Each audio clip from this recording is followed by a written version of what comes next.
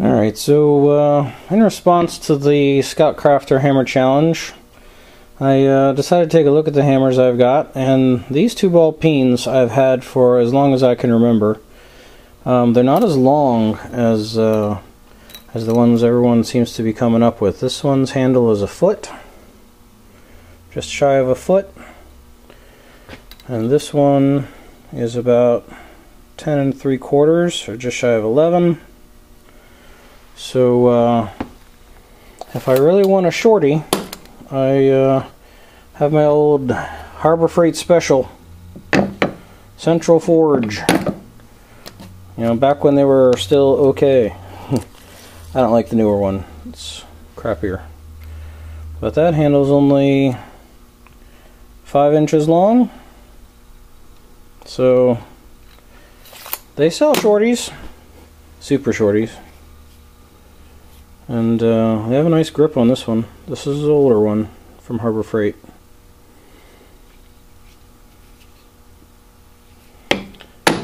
But as far as hammers with a short handle go, I made a hammer for some purpose years ago. I don't actually even remember why I originally made it.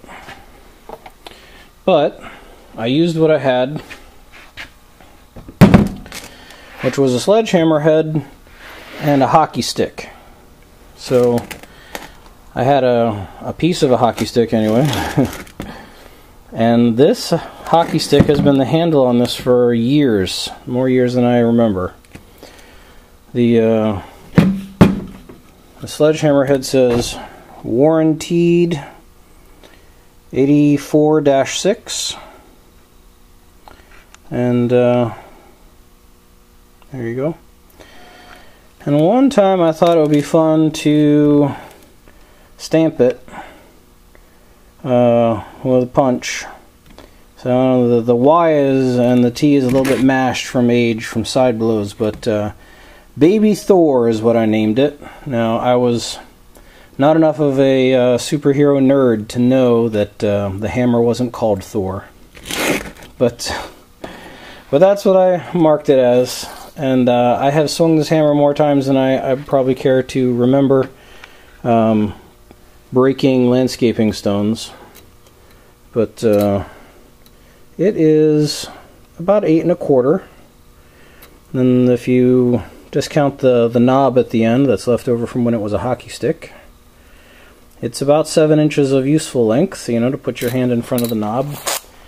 So this qualifies, I think, as a short handle hammer and uh, I'll just clean it up. And uh, this will be my entry. So I don't have the uh, the benefit of uh, a lot of time to do one proper like everyone else but um, I think this will have to suffice. Alright you tell me what you guys think of it in the comments.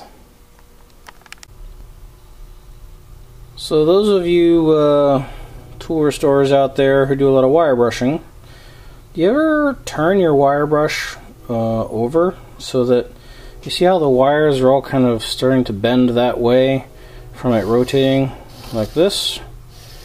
I feel like after a while the wires are um, not doing as good a job as I would expect them to. This has been wire brushed, but uh, still, you can tell there's still some rust.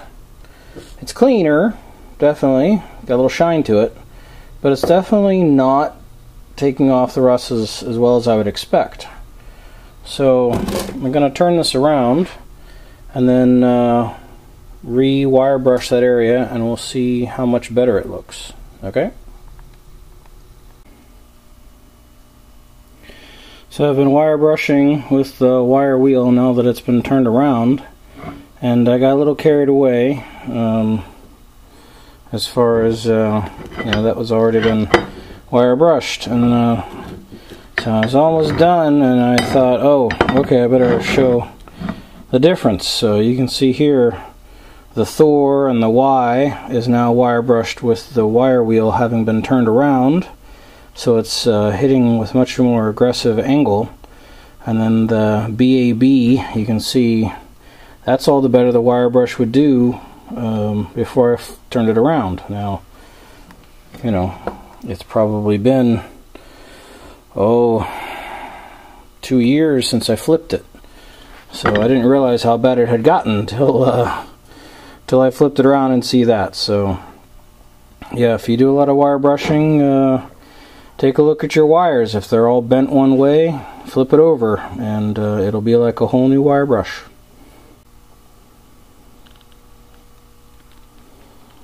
Alright, so maybe I'm getting a little carried away.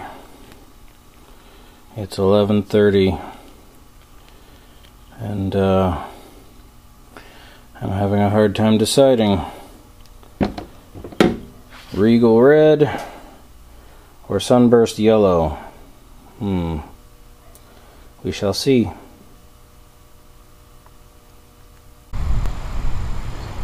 Alright, I finally finished it.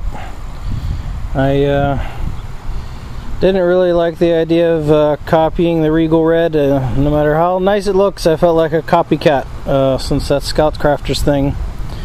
So I decided to uh, add just a little bit of red to the Sunburst Yellow to make it more of a gold. And I rewrapped my handle with some fresh uh,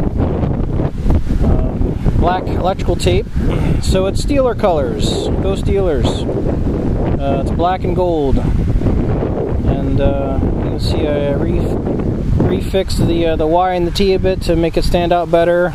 Baby Thor and uh, it's an 8 inch handle and I didn't make this hammer for this challenge this is a hammer I've had and uh, you know Scout Crafter just made uh, his video saying how you don't want to use the a hammer too small for uh, for a job where you have to wail on it too long you'll break the handle.